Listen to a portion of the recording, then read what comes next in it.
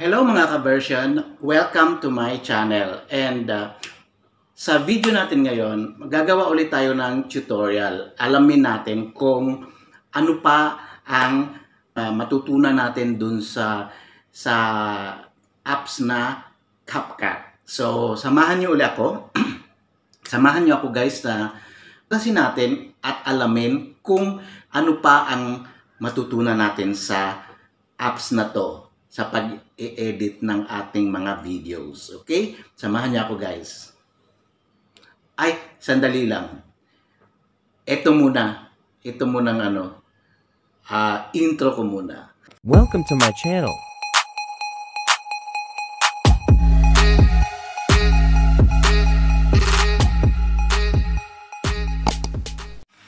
So ito na guys, eh, i-click natin tong uh, video editor na CapCut. Click na natin yan. Tapos click new project. Click new project tapos i-click mo yung video mo. Itong aking sample na video, ito. Tapos uh, click yung add, yung nasa pinakababa add. So ito na siya. So ang una kong ituturo yung uh, uh, text na may kulay tapos sa uh, may ano uh, paano paggalawin yung text mo. So click ang text tapos click add text. So ayan na. So ito yung ano gagawin natin. So i tatype ko lang yung aking pangalan ng aking uh, aking uh, channel Genus version Ayan, genus version. Ayan na siya. I-adjust mo lang. Tapos, tapos, i lagyan natin siya ng kulay. Itong lagyan na siya ng kulay. Itong blue. Nasa sayo yon kung alin ang gusto mong ano. Pag, marami kang pagpipilian dyan anong gusto mong kulay. Eh ako kasi mahilig ako sa blue. Ayan, ganyan ang sa akin. Tapos mayroon pa dito kung anong gusto mong kulay pa. May pink o ano pa. Tapos, tapos uh, i-adjust ko lang yan. I-adjust mo lang sa babayan kung gaano kalaki, gaano kaliit, ganyan. Tapos, i-click ko yung animation. Mamimili ka kung paano paggalawin natin yung pangalan na genus version. So, i-click ko yung animation. Yan, animation. So, nandito ang mga option kung ano gusto mo. So, ito ang pinaka-favorite kong favorite kong ano, uh, yung spin 2. Sana ba yung spin 2? Ayan. Ayan. Spin into. Ayan. Ito, ikiklik ko yan. So, ayan na siya. So, masyadong mabilis yung kanina, di ba? mabilis ang pag-ano niya. So, dito i-adjust natin para medyo bumagal siya ng konti. Itong green na may line na, may line na green, i-ano natin, i-full natin siya. Naging 3.0. So, ayan na siya, medyo bumagal na siya, o di ba? Tapos, so, satisfied ka na, i-click natin itong check. Click, check. So, ayan na. So, na, halimbawa, uh, ito uh, habaan natin siya hanggang sa dulo ng iyong ano sa, uh, sa dulo ng aking uh, uh, example na video ganyan siya so ganyan na yan di ba? So ipi-play natin. Oh di ba? Ganyan na siya. Oh ganyan na siya. So isa pa sa uh, ituturo ko sa inyo ay yung ituturo ko sa inyo yung uh, maglagay ng background music na pa, pa-fade talaga siya, pa-fade. So lagyan natin ng ano ng uh, background music. So itong ano, itong oh, click mo yung audio nasa baba katabi ng gunting, ayan. Click audio. Tapos click sounds. Ayan, click sounds. So mapupunta na yan diyan. So ito na yung ano, uh, kung wala ka pang naka, naka naka-install na na na-download ng mga mga background music mo sa iyong cellphone, pwede kang mamimili dito sa ano sa worth the minutes, rock, travel, tapos vlog, fresh, healing. May, may marami kang pagpipilian dyan kung anong gusto mo. Pero ang may suggest ko sa iyo, kailangan mag-download ka na lang ng mga gusto mong mga i-background music kasi ang papangit ng mga ano diyan, mga music. So So meron na akong na ano, meron na akong meron na akong mga background music sa aking ano, sa aking phone. So i-click natin tong from device. From device. O click ang from device. So halimbawa ang ang ila ang idadagdag ko itong ano, seventh floor tango. I-click ko lang, i-click ko lang yung plus. Click plus. So nandito na siya. So ayan na siya. Ayan na siya. Okay. So an anong ga ano pa ba ano ba ang ano gagawin natin? Itong ano itong sa dulo, sa dulo eh, kasi mahabang masyado to. So alangan naman ano, so ik ikakat natin 'yan. Ikakat natin siya, di ba? So ikakat natin siya. itatap lang natin 'yan, itatap. Tap natin siya. Tapos sa baba may makikita kang split.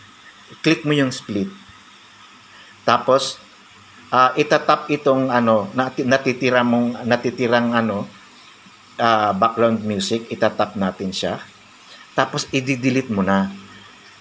I-delete mo na. Ayan na, ay ano naka naka ano na siya. Naka nakulong na siya. so, i-delete na natin siya. Ayan, delete. So, meron pang isa tayong i-delete yung uh, itong ano, itong uh, CapCut na watermark. So itatap natin yung dulo, yung dulo ng ating video. Tatap natin to. So ayan, naka-rectangle na siya na ano, white. So i-delete na natin itong itong CapCut na watermark. Ayan. So, yan. Wala na, wala na yung watermark ng ano. So, ang gagawin natin ngayon, paano i-fade yung ano, yung background music na to? Kasi kasi pag sa dulo malakas pa din. Kailangan mas maganda yung maganda yung pa-end na yung iyong video.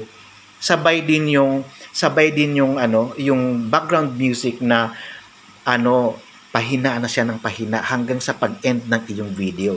So pakinggan muna natin tong ano pakinggan muna natin tong uh, paano natin ganyan no o malakas siya, 'di ba? Malakas siya. So ang gagawin natin, ang gagawin natin dito is uh, itatap natin itong itong background music, itatap natin siya. So ito na, ito pag-tap natin ng ano, pag-tap natin itong background music, may makikita kang fade. Click natin ang fade. Click fade. Tapos may makikita kang fade in duration, tapos fade out duration. So, i-click natin ang fade out duration. Para dun sa dulo yan, sa dulo ng yung ano. Ito ha, ito na yung sa dulo. Ayan, na, naging ano na siya. Ito oh, sa dulo. Naging ano na siya. Uh, pa, anong tawag nito? Triangle na siya. Ayan na, yung ano na yan sa dulo Pa-fade na yan, pa-fade na siya.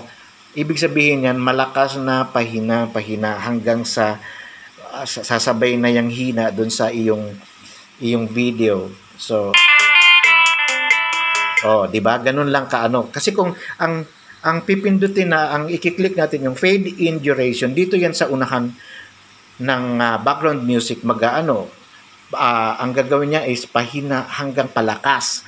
So ano kailangan pag start ng video mo syempre malakas na yung ano intro ng iyong ah, uh, bi ano uh, background music. Pagdating sa sa ano naman sa pa, pa-end na yung iyong video kailangan yung background music mo rin ip, ano mo din siya ah, uh, ipa fade out mo rin siya. So ito na ito na ganyan siya. Ganyan na siya.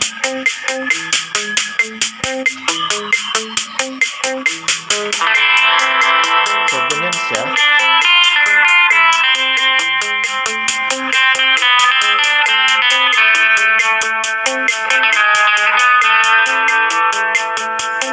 Ayan, o, ganyan siya. Ayan, malapit na yan na. O, di ba? Ganun lang, ganun lang siya. So, after nyan, i-click natin itong check. Itong ano, ito sa baba may check. Click natin ang check. So, okay na siya. Okay na siya. So, ah, dalawa na ang ating ah, gi- ano, ginawa. Itong ah, paano maglagay ng text na animation na may kulay din yung text mo. Ayan. Tapos, yung background, paano i-fade out ang iyong background music. So, yun guys. Pagkatapos natin doon, pagkatapos natin dyan, i-click na natin ang, pag okay na, okay na yung videos mo, i-click natin yung nasa taas, yung fade, ano, ay arrow, yung nasa upper right side, upper right side ito, click. Tapos, yung resolution natin, i-adjust natin yung resolution. Dito tayo sa 720p ang resolution mo. So, kasi pa dito mas maganda pag 720p. Tapos click natin ang export. So, yan lang. Intayin natin ang itong white na to na umabot ng 100%. So ayan, mabilis siya kasi maiksi lang yung aking video kasi tu- ano tutorial lang naman to. So ganyan siya. Ganyan na siya. After ng ano, after ng 100%, 100%. So makikita mo dito sa ano sa right side again, upper right side, meron meron ka makikitang done. So iaano natin to, i-click natin ang done. So yun lang guys ang ating ah, tutorial for today at sana may mga ah, natutunan kayo sa aking ah, tutorial paano gamitin ang CapCut sa ano pag-i-edit ng inyong mga video o kaya maglagay ng ang ginawa natin ngayon is yung ah, paglagay ng text na na gumagalaw, animation, marami kang pagpipilian doon kung anong gusto mo. Eh yung yung ah, ginawa natin kanina is yun ang pinaka favorite kong gawin na na gumaganon. gumaganon yung ano yung ah, yung ah, text na ginawa natin. So ang pangalawa naman natin ginawa is yung ah, maglagay tayo ng background music na mag-fade out. Mag-fade out siya. Kailangan sabay ang ang last ng iyong video pag last ng iyong video hindi yung mag-e-end na yung video mo malakas pa din yung iyong ano malakas pa rin yung iyong ah, background music yung sounds malakas so parang ang pangit pa ah, pangit ano pangit pakinggan mag ah, ano na malakas pa din so kailangan sa, sabayan na ano isabay yung background music na yun dun sa patapos mo ng video. So, kailangan i-ano, if you fade out natin siya. So, yun lang guys. Sana may mga may natutunan pa rin kayo sa sa aking uh, ginawang tutorial.